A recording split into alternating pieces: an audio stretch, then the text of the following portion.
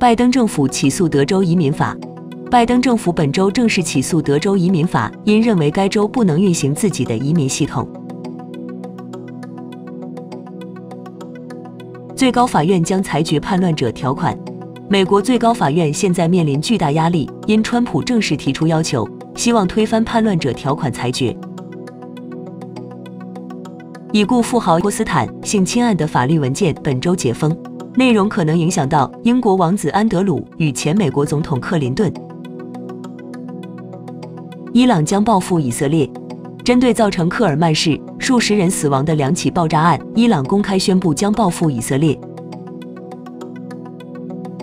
福特大规模召回 F 幺五零皮卡，福特汽车宣布全美召回超过十一点二万辆 F 幺五零款皮卡。主因是后轴轮毂螺栓存在翻车风险。